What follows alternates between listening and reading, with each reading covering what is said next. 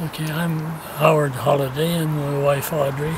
We just set out for the Cook Street Village and we hoped that everybody would have their sidewalks cleared. By the time we got down about a block away, we found our way was blocked. Nobody had cleared the ice off their front sidewalk, so we had to turn around and come back. Here we go. Whoop.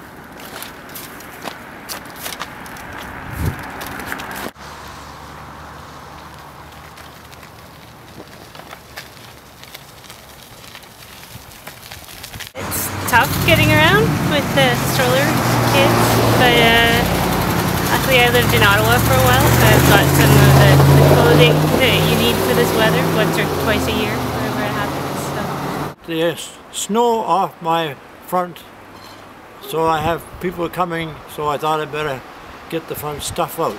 That's All right. kinds of stuff. Done? My name is Neil Topham, clearing the sidewalk here. When the ice gets difficult,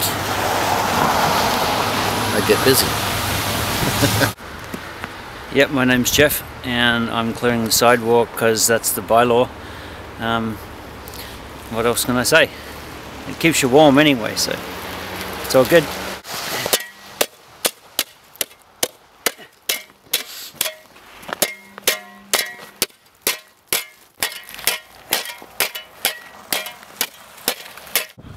Hi, I'm Rick Shumka. The sidewalks can be very treacherous, especially with the ice. It's a little difficult maneuvering, but it's you just have to be very careful.